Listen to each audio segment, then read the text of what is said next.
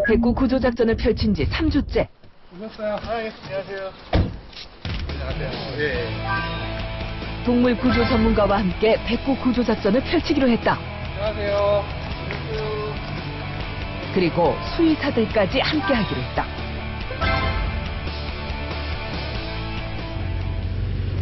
전문가와 함께 백구가 있는 곳으로 향했다. 마침 잠을 자고 있던 백구 발견. 쟤죠? 예, 맞아요. 등도 긋고. 아, 진짜 하나도 안 보이네요, 여기는. 단체로 다 내려요. 백구가 어떤 상태인지 보다 정확하게 판단하기 위해 가까이에서 백구를 지켜봤는데 건강 상태가 심각한 것으로 판단됐다. 이에 구조가 시급한 상황. 백구 구조를 위한 작전 회의가 시작됐다. 어, 맛있게 먹어 하면 이제 다 나오는 걸로 7번. 그리고 마지막 8번까지. 총 여기 한 명이 와서 같이. 백구가 밥 먹는 장소에 구조물을 세워 도망가지 못하게 도주로를 차단하는 작전이다. 사방을 막아서 백구를 구조하는 작전인데 과연 성공할 수 있을까? 구조에 필요한 사람들도 하나 둘씩 도착했다. 그리고 실제와 비슷하게 모의 구조 작전을 펼치기로 했다. 네. 죄송합니다. 백구 들어가요. 백구 왔어? 밥 먹어?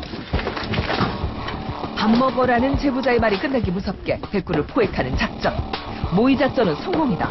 실제로도 성공할 수 있을까? 그날 오후 백구가 오기만을 기다리는데 백구가 드디어 모습을 드러냈다. 언제나 그랬듯 밥 먹는 장소로 이동하는 백구. 이번에야말로 포획 작전이 성공해야만 한다. 다행히 구조원들의 인기척을 눈치채지 못한 듯하다.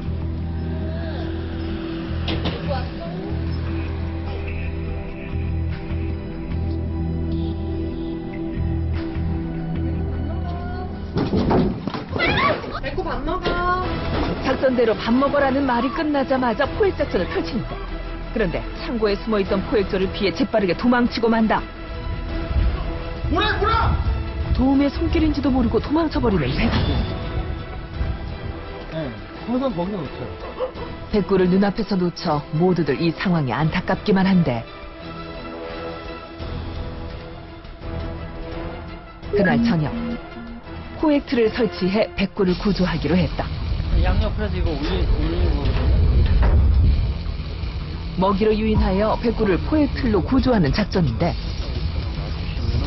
혹시나 올 가능성이 있으니까 오늘은 여기 프로젝트를 일단 남겨놔 보고요.